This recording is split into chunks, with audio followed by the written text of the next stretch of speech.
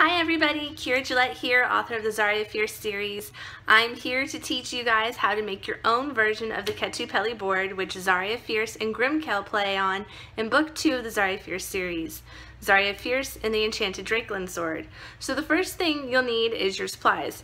You'll want to get these little wooden spools, which you would use to put on um, thread for sewing. You'll want to get little tiny dowels, which are slightly bigger than a toothpick and uh, in term and they're much steadier too than toothpick. It's very hard. You can't bend these. They're very um, non-flexible. And uh, you want your dowel to be smaller than the spool because you'll want them to be able to um, fit as a lock and key type mechanism because the dowels will be used to build your pegs and the spools are where you'll build your game board. Um, the other thing you will need is little teeny tiny clothespins, like the ones you can get from a craft store, which is where I got all of my items. Um, and it's uh, it's not necessary that they actually open and work because you won't be needing them for that function. I thought they looked like little fox heads. Whoops, I dropped it. Um, and that's why I got them because the board is um, a board game about foxes because it literally translates into the fox game from Finnish. And um, so you just want something that you can kind of like design and you can either paint them. In my case I use little like tiny black um, seed beads to make like their noses and um, so it was a lot of fun. And it's really easy to do. All you're going to need for this entire project uh, to put it all together is some um, hot glue and a hot glue gun. And um, so you'll want to just regular standard glue and a regular standard glue gun and you're good to go. And uh, so um, the first thing you want to do is you want to design the board so it actually has the correct number of spacing so as you can see, this is the spacing that you'll do to create your board game. You start at four and you increase by one in each row until you get to eight, and then you decrease by one until you get back down to four, which give you 52 places to put your pegs. In the game, you only need 51 pegs because you'll have one that floats as people move pegs around trying to confuse people in order to play the game.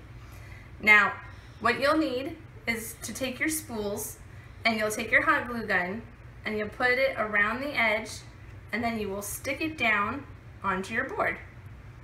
And it's just that simple. And then over here with your peg and your little clothespin, you're going to try to make it look like a fox. So what you want to do is you want to put hot glue into the little hole and then you'll stick your dowel through it so that it comes through the other side. This gives it some stability. And you'll take your little seed bead and you'll put it on top to create a nose. And then when you have all 51 of your pegs created, you will dip them into little um, little spots of paint that you have. You'll need 50 um, one pegs in total, and it'll be 30 black, 20 red, five blue, three green, two yellow, and one white. And you want to keep it down here at the end of the peg and you don't want it to go up and over on your dowel because when you play it, you don't want people to see what the color is. And not that we're saying anybody cheats, but if someone looks down in there, they might be able to tell what color it is. So that's why you keep it very minimal and you keep it on just the very base of the peg. And uh, if you have any problem when you're working on this and you're putting the, the dowels through the clothespins, you, you know, you lost the heat on your glue, um, you can just take the metal edge of your hot glue gun and you can rub it on the glue that dried and it will heat it back up so you can put your seed beads back on without having to do extra glue. And uh, there you have it, the Kettupeli board. Um, I hope you guys enjoy and I would love to see your final creations. This is how my sister helped me to decorate this one and we divided our space over here into player one and player two spacing so that way you can count points if you play version one or if you play version two you'll know who has won. And uh, that's it. Have a good one.